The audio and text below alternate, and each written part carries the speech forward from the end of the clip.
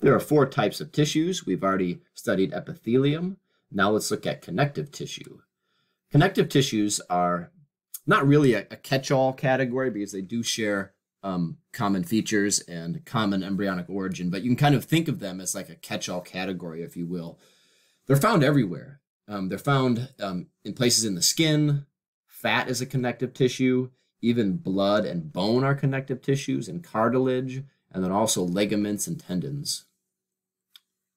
So it's one of the four primary types of body tissue. Connective tissue is found in between other types of body tissue. So what it does is it connects tissues. Um, for example, um, connecting a muscle to a bone or connecting a bone to a bone. Connective tissue is composed of really three things. Specialized cells, extracellular protein fibers, and something called ground substance. So this large pink or purplish and this dark purple, those are fibers. Um, these things that look like cells are cells. They're the nuclei of cells, in some cases the full cell itself. And then the ground substance would be this void or this space in between the fibers and the cells. So remember we have these cells and then we have things outside the cell. Things outside the cell are called the extracellular matrix, and that would include the fibers and the ground substance. So let's just make sure that makes sense. We have the cells, and then outside the cells, we have fibers and the ground substance. So the ground substance and the fibers together are called the extracellular matrix. So let's look at those three things, specialized cells, protein fibers, and ground substance. There's lots of cells. We're only going to look at three. First, let's look at the fibroblast. The fibroblast is the most abundant cell in connective tissue. And that's what produces the protein fibers, the fibers that we'll talk about in just a moment, are the ones that you see here. Um, it's difficult to tell which cells are which, um, but the fibroblasts would be, um, would be, many of these would be fibroblasts. This one perhaps looks a little different. This one's probably not, but the other ones um, may be. Fibroblast under electron microscope looks kind of star-shaped like that. We also have macrophages. Phage um, means eating. It's, it's a Greek word for eating. So it phagocytizes pathogens. So if you have a pathogen or something that is able to penetrate your skin, um, the macrophages located within um, your dermis or within your skin will attack that pathogen and eat it up. So here's a picture of a macrophage engulfing some type of foreign particle. And then we also have mast cells. Mast cells um, release heparin and histamine. Here's a mast cell. And then if you look at um, another picture of a mast cell, you can actually see these granules inside. And these granules contain the heparin and the histamine.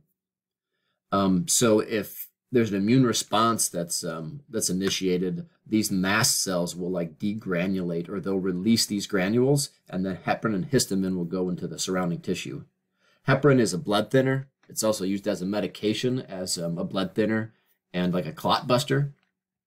And then histamine you're probably most familiar with because it causes itching, but it's part of the immune response. We have extracellular protein fibers, collagen fibers. Those are the ones that um, we see here, these pink ones. They're abundant, they're thick, they're long, and they're straight. They don't branch. And notice I wrote, it's not very elastic. What that means is it doesn't stretch very, mu very much, and it resists that stretching sort of along its long axis. That's what tensile strength means. So even though it's flexible and it can bend, you can't stretch it very far. Unlike the elastic fibers, however, um, those do stretch. Those are the purple ones, the thin ones, the wavy ones. They branch a little bit, um, and they can stretch up to like 150 times their, their original length and then still recoil back to original shape. And then lastly, we have these things called reticular fibers. The reticular fibers are highly branching, sort of interwoven. So all these dark lines are reticular fibers. This is a picture from the liver here. Uh, reticular fibers are less common, but they're very common in places like the liver and the spleen and the lymph nodes. It, it, it um, provides a like a support network for other cells. And then we have ground substance. The ground substance of connective tissue is a clear and colorless um, viscous mixture. And like we said before, the ground substance fills the spaces or fills the voids in between the cells and in between the fibers. Let's look at some of the characteristics of connective tissue. Connective tissue is loosely packed. You've seen this slide before when we looked at epithelium. Here's epithelium. Notice how close the cells are together. And then right deep to the epithelium is connective tissue.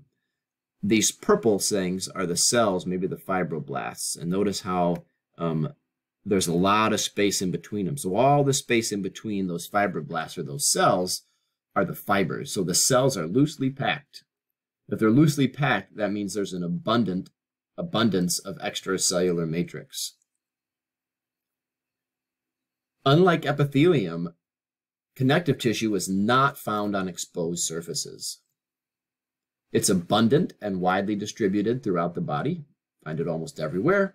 There's various levels of vascularity. For example, um, just in the skin here, we would have lots of blood vessels, um, but a tendon or ligament or cartilage has very little um, blood flow. So the function of connective tissue, it binds structures. For example, this tendon here and this ligament, those are binding bone to bone and muscle to muscle. Provides support and protection.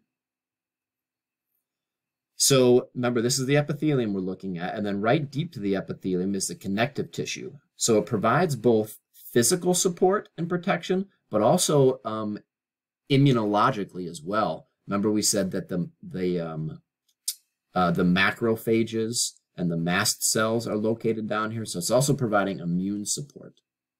Here's more protection. This is a fibrous capsule and fat tissue surrounding the kidneys, protects it.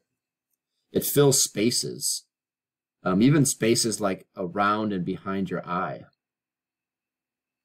Stores fat. I don't need to show you any pictures of fat storage. Protects against infection. We mentioned that with the um, mast cells or the, the uh, phagocytites, uh, uh, the macrophages rather, produce blood cells. That happens in the bone marrow. We'll talk about that later. And repairs damaged tissues. Now, this is a really, um, there's a lot going on here. So this is the types of connective tissue. We're going to distill this down and make this much more simple. We're going to look at loose connective tissue, dense connective tissue, and cartilage. Even though bone and blood and lymph are types of connective tissue, we'll save those for later when we actually talk specifically about bones and blood. So now we'll just look at loose, dense, and cartilage. First, let's look at loose connective tissue. That's the packing material of the body. That's the stuff that fills the spaces between organs, provides cushion, supports the epithelium like we saw in the last picture, supports and surrounds blood vessels and nerves, also lipid storage or fat storage, provides a route for diffusion of materials. Remember, a epithelium, it doesn't have any um, blood vessels, so the connective tissue provides support in that sense. And generally, most of the volume is occupied by ground substance. When we look at, sorry, when we look at dense connective tissue, um, that provides strength and support. In this case, most of it's not ground substance, but most of the volume are the fibers, those collagen and elastic fibers we talked about. So first, let's look at loose connective tissue. There's three types. Areolar, or this is just oftentimes called loose connective tissue, and there's adipose tissue, which is fat, and then there's reticular tissue as well. Let's look at loose connective tissue or areolar tissue first. That's like the picture we saw before. Notice these fibers and these cells are loosely packed. The fibroblasts here are the purple cells. And then these thick pink fibers, those are collagen. And then these smaller fibers here that are following my arrow, those are the elastic fibers. And the rest of the stuff would be um, the ground substance. And everything that's not a cell, remember, is part of the extracellular matrix. So there's some more areolar tissue or loose connective tissue right deep to the skin. So remember, this is the epithelium of the skin. This is right deep to the skin. See how this is like a light pink? And then if we go deeper still, this is a different type of connective tissue. This is dense connective tissue. We'll look at that next. But right now we're concerned with this loose connective tissue here. Notice the cells are far apart. We see some fibers. We don't see real thick fibers though. So this is loose connective tissue here. Here's some more loose connective tissue. These big pink fibers would be collagen. These darker purple ones are elastic fibers. And remember, these other um, cells are most likely the fibroblasts. Here's some more areolar or loose connective tissue. Notice we see it um, as a different color. That's just a different stain. It's surrounding an artery. This is skeletal muscle. You see the cell is running this direction. And on either side of the cell, we have this loose connective tissue acting as like a packing material. Now we're looking at um, the small intestine here. We've seen this. There's the epithelium, but then deep to the epithelium, we have this loose connective tissue. Notice um, the fibers, you can see them. Here's another image of the small intestine. This is the simple columnar epithelium we discussed, and then right deep to that, we see loose connective tissue. Oftentimes, just deep to, to epithelium, we see loose connective tissue. So all this stuff here, and even this stuff down here is loose, loose connective tissue. This is muscle down here adipose tissue or fat. So these are just fat cells, and there's the nucleus. It's a cartoon of it, of course, but this is the real thing. This is under a slide. Notice that you don't really see the fat. That's because in the um, in the process of preparing the slide, that fat gets washed out. But these are the adipocytes, or these are the fat cells, and then you can see the nuclei there. Here's another image. Here's a zoomed in image over here. There's the nucleus, and all this space would be where the fat was. There's some other types of connective tissue, it seems, too. Here's some more fat tissue. Notice we have loose connective tissue around the vein. Here's some more connective tissue, but then here we have the adipocytes, or the fat cells.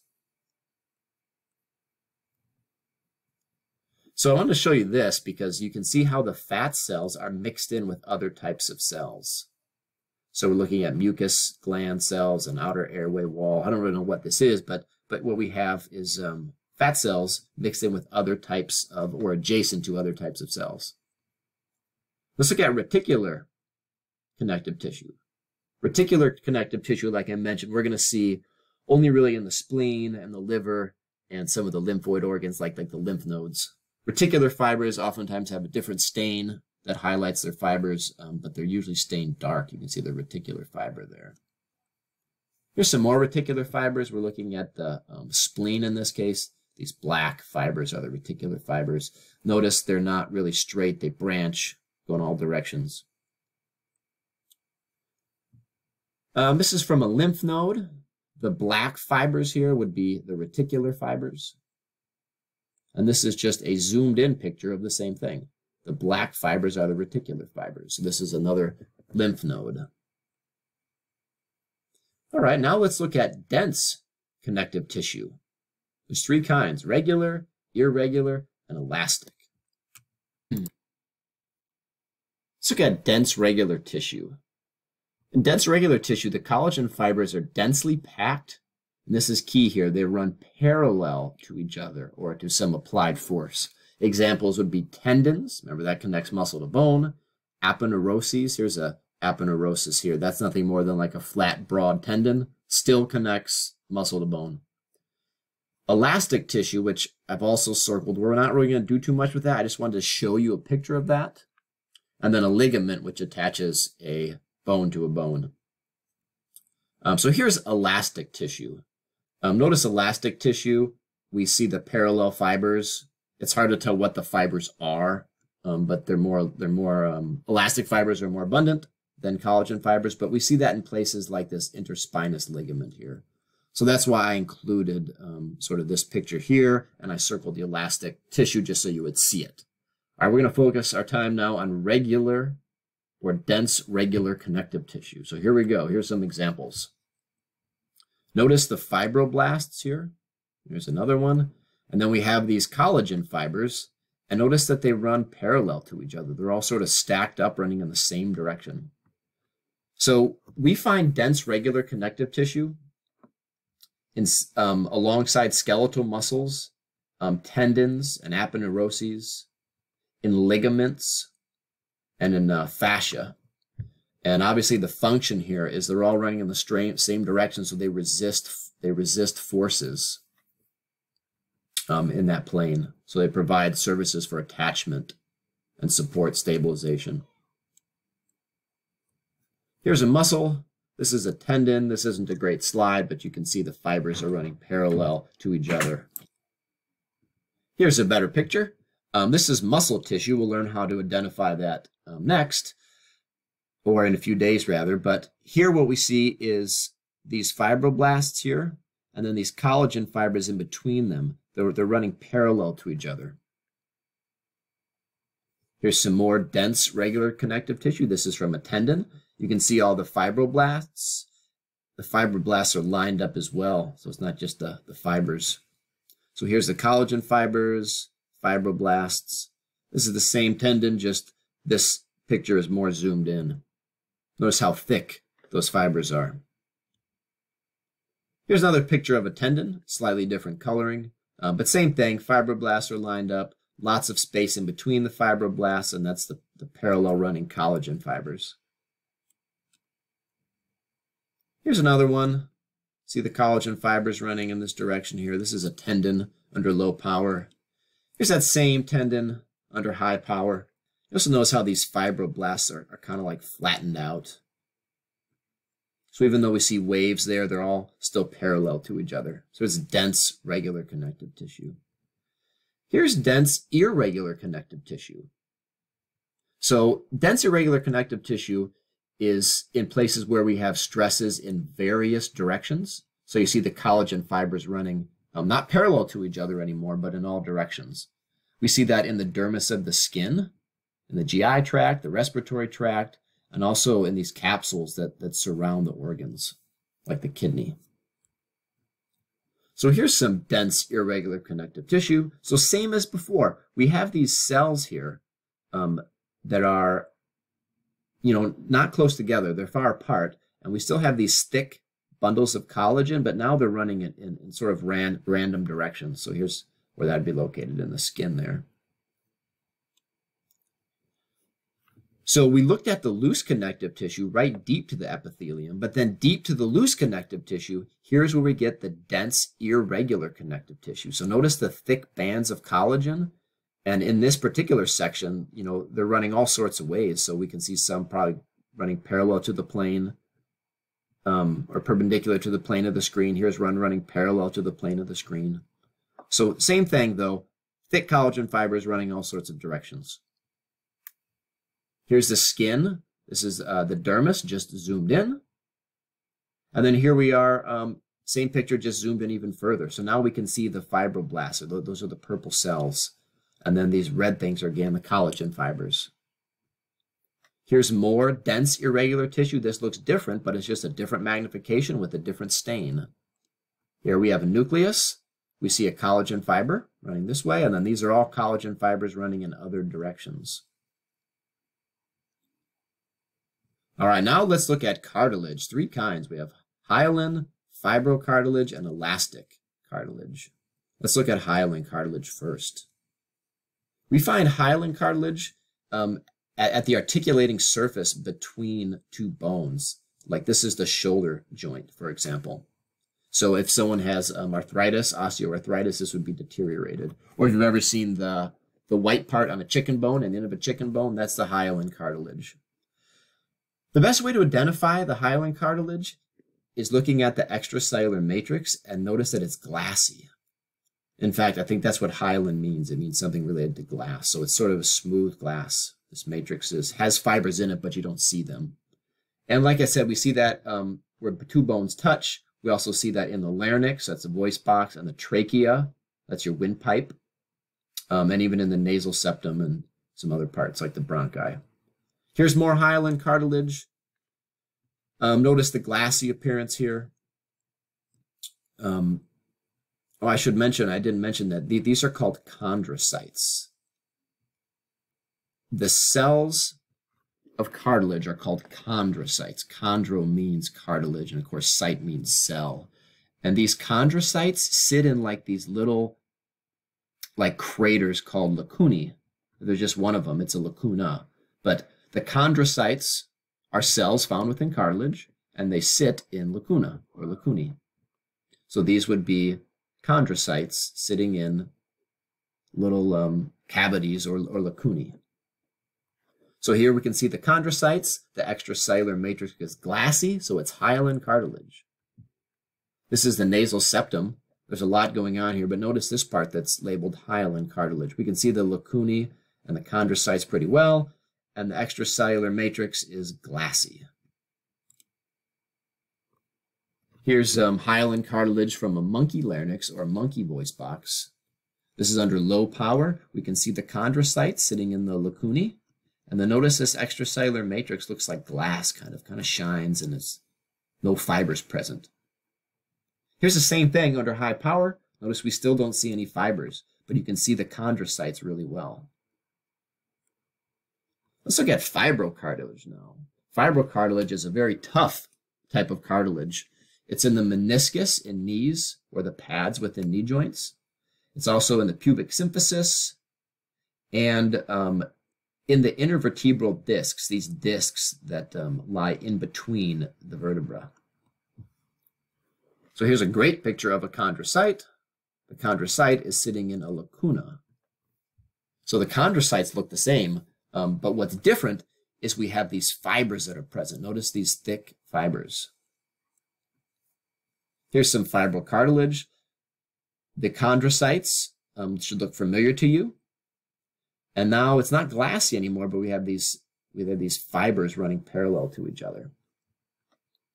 Here's the same fibrocartilage just under higher power. We can see the chondrocytes, and then there's um, abundant fibers, lots of extracellular matrix. Here's fibrocartilage under low power.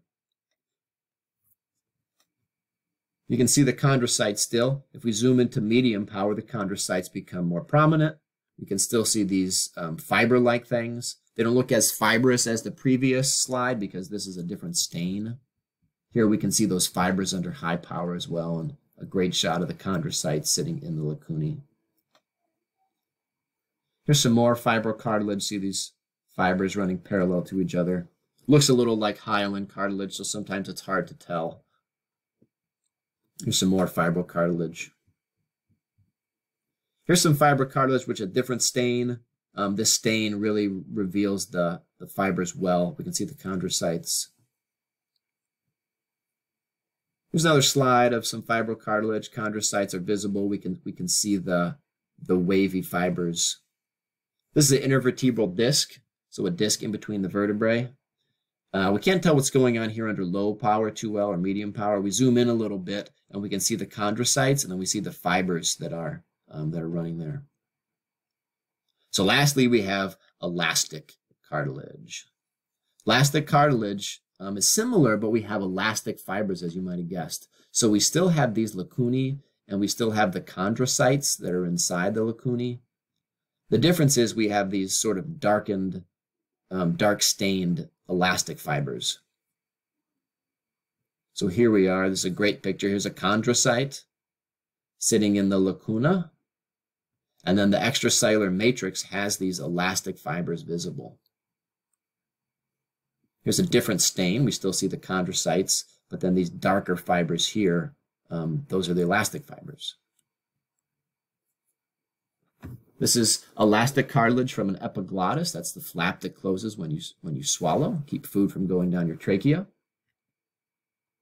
Notice the fibers are in red now, not purple.